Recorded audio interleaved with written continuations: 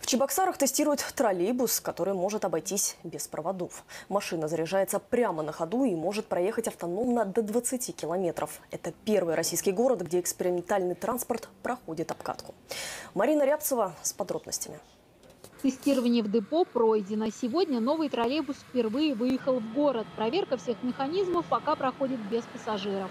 Современнее и комфортнее по езде и в плане водителя то, что на старых троллейбусах кресло водителя вообще не регулировалось и было в одном положении, а на данном троллейбусе несколько, есть несколько регулировок, которые можно построить под себя, под спину, под поясницу. Еще одна особенность этой модели – видеокамеры. В троллейбусе их 13. Они установлены не только в салоне, но и на крыше.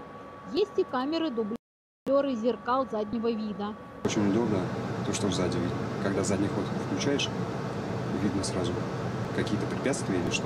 Низкий пол, широкие двери, USB-разъемы для зарядки телефонов и система климат-контроля. Одновременно в троллейбусе могут ехать 85 человек.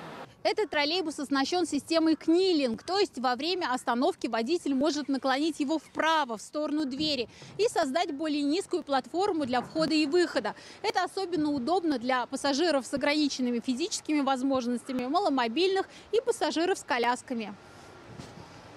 Этот троллейбус пока единственный в своей серии. Опытный образец, собранный на заводе КАМАЗа, чебоксарские транспортники взяли на тест-драйв с прицелом на будущее.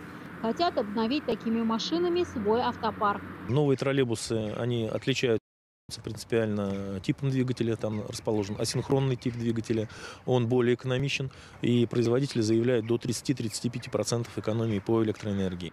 Главное преимущество нового троллейбуса – работа в автономном режиме. Он способен проехать без подключения контактной сети до 20 километров.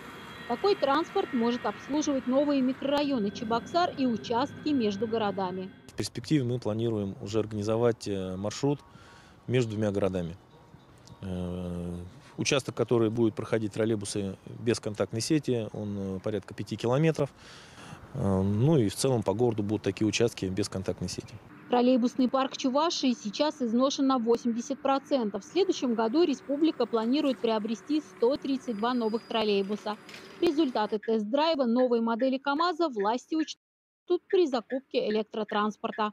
Марина Рябцева, Михаил Солин, Чебоксары, ОТР.